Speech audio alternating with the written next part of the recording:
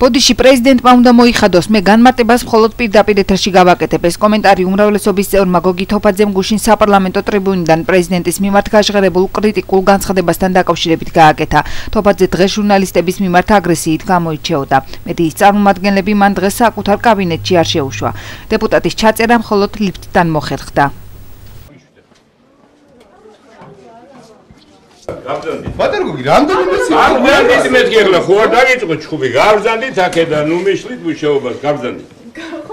გაბზანდით, გენაცვალე, გადით, გადით ახლა რა ვიჭიდაო?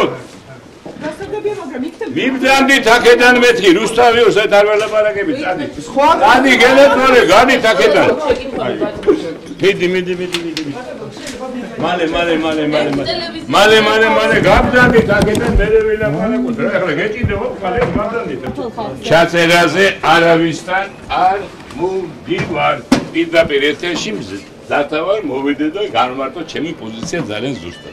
ბოდიშის მოხდეს არაფერი თვატო ბოდიში მანა მოიხადოთ ქართველი ხალხის წინაშე რა და როდის თქვა იქ და დაგვიკონკრეტო მოდი განახებთ. თქვენთან წამოვიდეთ კაბინეტში?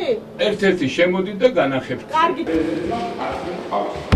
რატომ გააკეთეთ გუშინ ეს ბატონო? ბატონო, აი მოყვებით და გვაჩვენე ბატონო. მოდი, მოდი, მოდი. ერთ-ერთი შემოდით. ერთ-ერთი ასე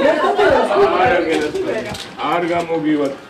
შემოვათ ყველა თუ შეიძლება და იქნებ განმარტება გააკეთოთ.